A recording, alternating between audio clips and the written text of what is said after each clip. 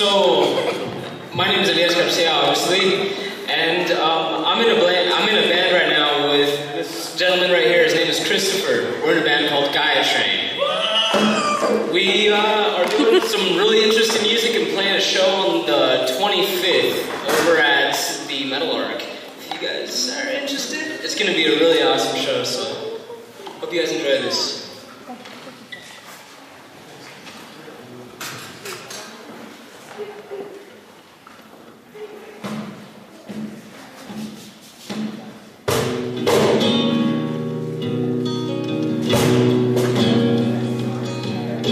Thank